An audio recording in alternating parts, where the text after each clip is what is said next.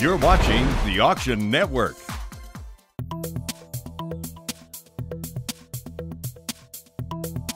Welcome back to the 2008 Newcomb Jet Ski Auction in Wichita, Kansas. I'm Steven Hill, and when it comes to Wichita water sports, there is no place like Cheney Lake.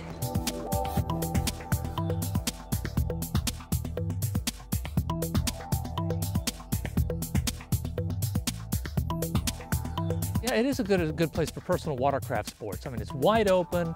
You've got lots of people who are enjoy the sport as well. So you got camaraderie to work with. And it's just, it's a lot of fun. We jet ski, uh, we pontoon out there, hang out, grill out, and uh, go to Party Cove and put back a couple drinks. Cheney Lake, jet skis, and boats. We're out at the lake every weekend. There's nothing else to do in Wichita. you go to the lake.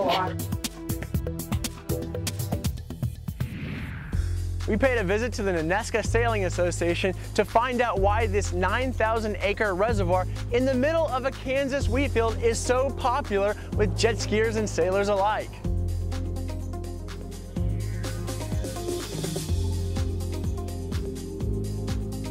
My name is Andy Woodward. I'm the Commodore of the Ninnescah Sailing Association at Lake Cheney in Wichita, Kansas. Cheney Reservoir is 9,000 plus acres backed up here in the middle of the wheat fields uh, on the Ninnescah River.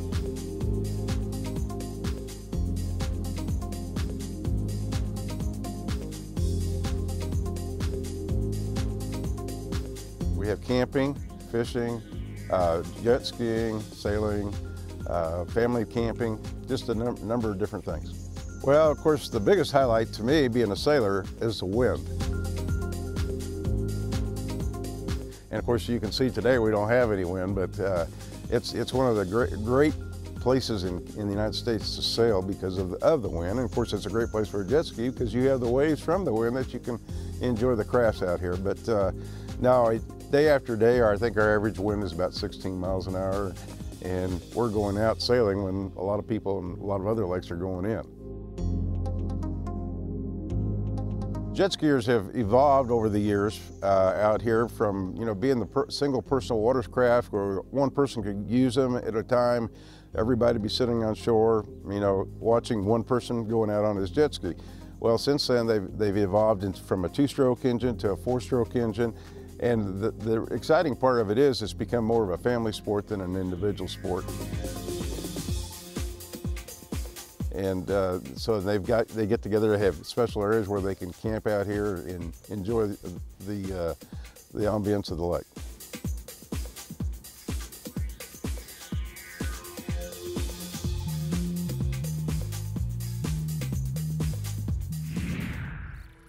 With all this talk about fun on the water, let's check out how jet skis geared for family fun are faring at the auction. Lot number 14 is a 2005 Sea-Doo 3D. Show them what that sucker will do, Bill. All right, what do you want to give me for? 2000 not 25 Oh, it's just great. It's just a lot of fun.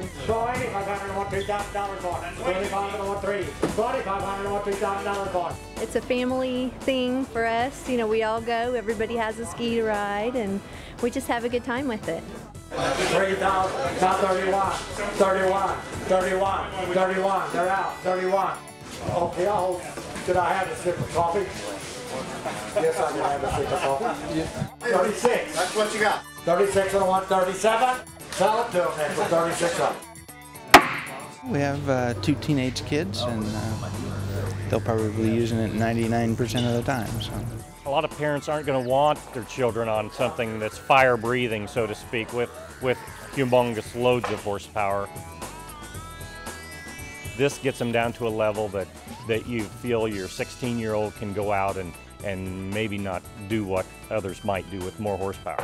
What is your dad going to buy you? What are you going to buy Sean today, Chris? With the family, we just bought a jet ski, so. Number 12 is a 2003 Yamaha GP 1300R. A dandy one it is, 165 horsepower. Got 2000 Not 2500 $2,500 on a 25 I want $3,000 on a tree. In past years, we bought a fifth wheel here, bought a boat here. $3,500 on an now four. 4000 4000 on 141 4000 on 141 Sold it 4000 number 93 Seems to be a pretty good deal. Get some good deals here. Sea-Doo was one of the is one of the more uh, popular brands. It's uh, I think been one of the top sellers in brands. Uh, it's a close struggle between Sea-Doo and Yamaha. Kawasaki's about a distant third, I believe. Kawasaki, I might also add, that started this whole game quite a number of years ago.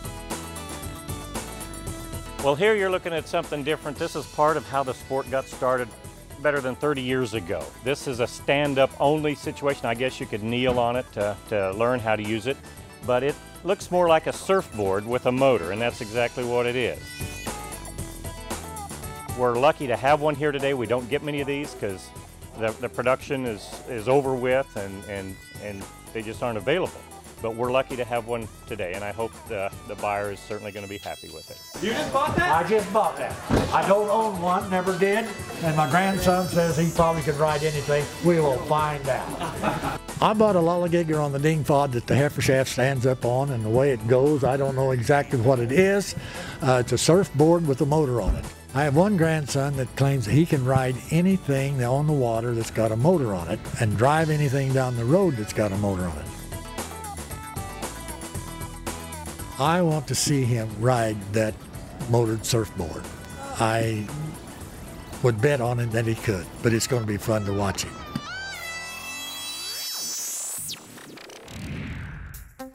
Stay tuned for more from the Newcomb's Jet Ski Auction.